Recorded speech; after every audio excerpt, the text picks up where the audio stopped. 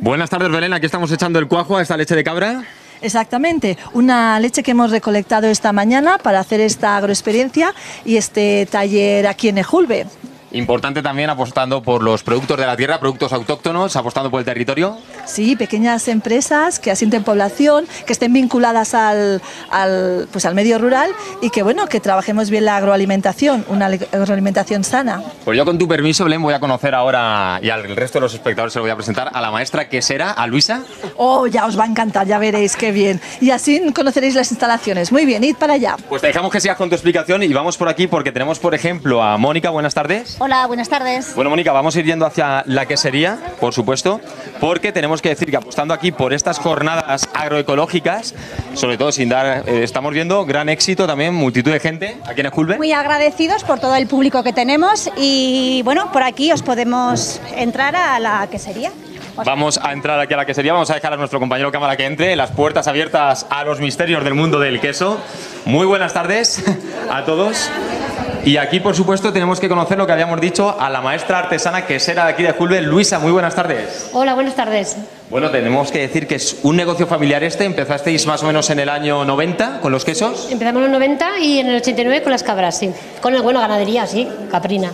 La verdad es que os encargáis de todo el proceso. Me gustaría enseñar aquí el depósito, porque una vez habéis ordeñado las cabras, vamos a pasar, Luisa. Vale, pasamos. Bueno, aquí está el tanque de leche. Aquí está el tanque de leche donde se refrigera. Más o menos unos 800 litros de capacidad. 800 litros, sí. Pero sacamos menos, ¿eh? Y una vez vamos para allá, tenemos que hablar ahora de la pasteurizadora, que sería esta máquina que tenemos aquí. Aquí pasteurizamos el queso y hacemos toda la elaboración en, en, el pasteurizador, porque es artesano, o sea, de aquí no sale. Aquí lo cuajamos, cortamos, agitamos y, y luego, una vez que ya tenemos el queso es, preparado... Antes también los grados, a 65 sí, grados más o menos. Sí, 64 grados media hora en la pasteurización del queso, es importantísimo. Para quitar cualquier tipo sí, de, de germen. de germen lo que hay en la leche, sí, sí. Y si nos giramos aquí, tenemos la parte del proceso. Y aquí, pues una vez que lo tenemos, lo pasamos a llenamos encima, o sea, toda la masa del queso la echamos encima y la vamos extendiendo. Y luego levantamos las pleitas, una vez que levantamos esto, bueno, se levanta así, se queda todo esto llenico, todo lleno, ¿vale? Y una vez lleno, lo pasamos a la prensa. Este es el molde pequeñico, pero tenemos el molde grande, que es este, que es este, que una vez que lo pasamos a la prensa sería, una vez lleno, prensado, y aquí se prensaría.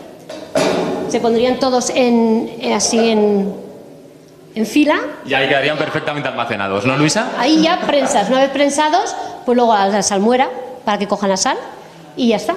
Y para vender. Pues jornada importante la que estáis viviendo. Estamos viendo cómo estáis haciendo queso fresco allí fuera. Que hay que decir que si se hace en casa es necesario incluso hervirlo tres veces mínimo. Sí, sí, sí, sí. O sea, es una pasteurización que hacemos en casa. Lo hervimos tres veces y no hay problema. Pues muchas gracias por desvelarnos. Vamos a conocer también esta granja caprina que tenéis de la Murciano Granadina, pero eso será a continuación. Y os sí que voy a pedir a todos un aplauso para Luisa, para la quesera de Fulve.